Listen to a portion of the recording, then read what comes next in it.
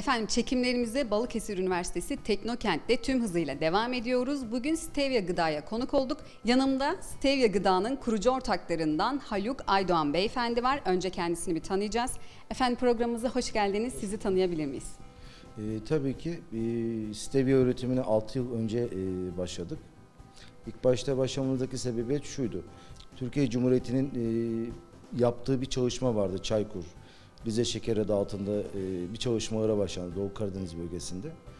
Bu bölge çalışmaları duyduktan sonraki e, stevia araştırmaya başladık. Ve araştırmamızın sonunda da stevia'nın tamamen doğal bir şeker olduğunu ve dünyada çok tanındığı ve Japonya'nın yaklaşık e, 40 yıldan fazla kullanıldığını öğrendiğimizi e, duyduktan sonraki aşamada bu ürünü Türkiye'ye e, yetiştirmeye karar verdik. 5 yıldır fide üretimi yapıyoruz. E, ürettiğimiz fideleri e, sattıktan sonraki aşamada ürünleri tekrar üreticiden satın alıyoruz. Bu bitki çünkü çok yıllık bir bitki, bir senelik değil, 6 yıllık bir bitki. Şu anda Balıkesir Üniversitesi Teknokent firması olarak hizmete başladık.